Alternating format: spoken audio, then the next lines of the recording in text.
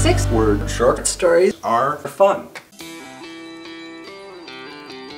You can win with six words. We challenge you to write a story with just six words. Then go online and submit your stories at shortwritingcontest.com. It's easy, it's fun, and you could win. Here are some examples of previous winning entries. Her teeth remain behind in Spain. Footprints to the sea, none returning.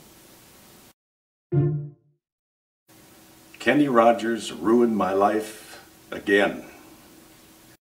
The poor woman has five daughters.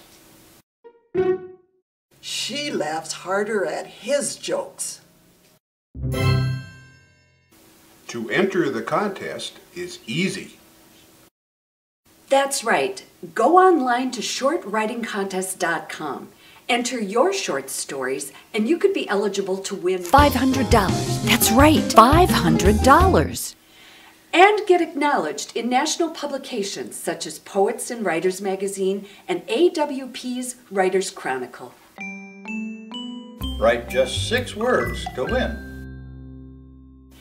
And the magic number is Six!